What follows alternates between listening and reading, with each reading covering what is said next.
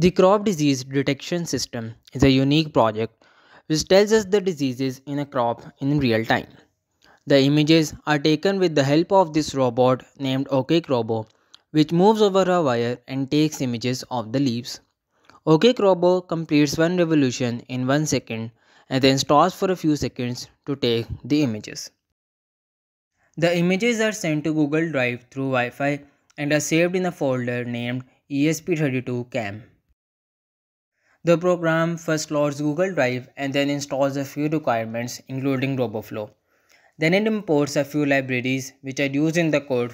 Two functions named predictor and print in color are defined which are used to predict the classes. First the program checks for the leaves in the images by using the best.pt file which is the trained leaf detection model and source images from the ESP32CAM folder. It creates a folder with the date and time in the results folder and saves the leaf detected images in the disease folder and the cropped images in the cropped folder.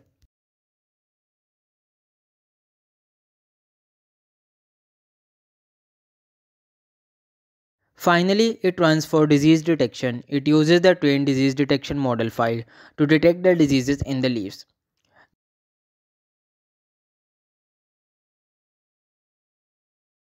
The result is saved in the disease folder with the file name class name underscore probability.